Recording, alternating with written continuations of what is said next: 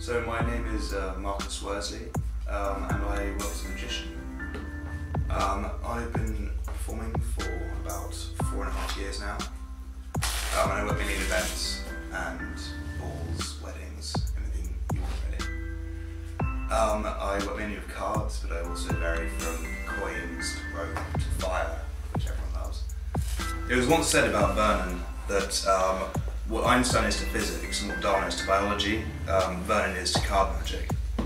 I think that's quite an interesting quote because every every person that studies card magic or a lot of magic in general, they study Vernon, and anyone who doesn't is kind of seen as why aren't you studying him? Because this man was so important to the to, to magic.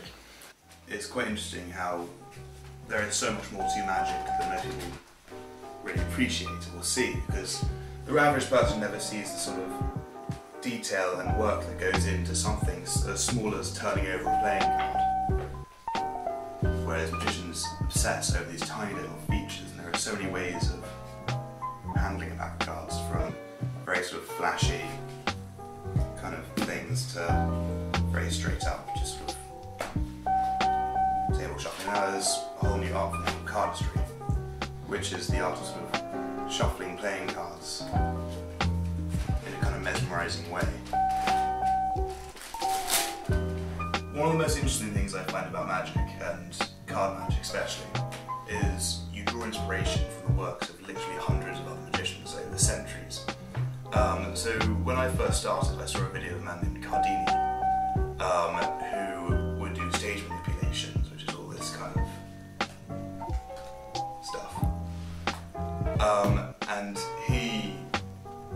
amazing character of a sort of English gentleman who would have all these magical things happen, like cigarettes appearing out of thin air, and he always seemed quite irritated by it. It was like an amazing character for someone to play, and it was so entertaining. And back in back in the 20s and 30s when he was performing, um, he was a huge, huge name, and everyone was knew him. And there are other magicians who take sort of more um, comedic So a man who recently passed away, Tom Mullica, who was very well known for a cigarette act where he would eat cigarettes and produce cars and all that kind of stuff. And it was, hilarious to watch and really quite inspiring. But when you have so many people to draw from, so many other people working in this industry, there's so much sort of community where people share ideas and share tricks and effects and sleights they've been working on for years. Um, and it all helps to promote the art as a whole. So this is me performing on the streets with FilmIt Wonder. Um, enjoy.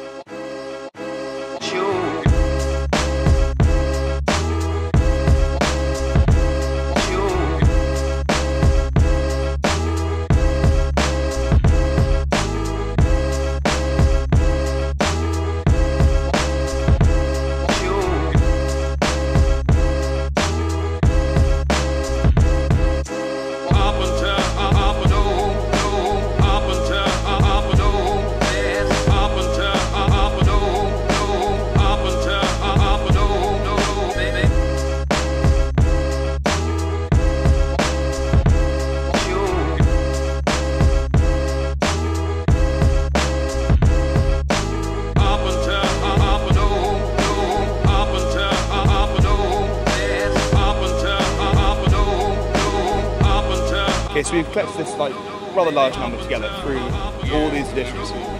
Um, let's try and see if this has got quite a weird, because I think it has any significance. Could you, one of you get your phone out?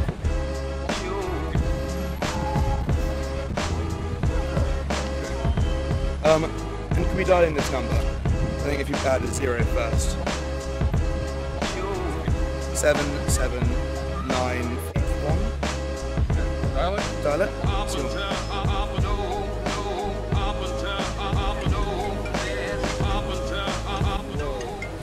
Hello? Hello? I hope that works.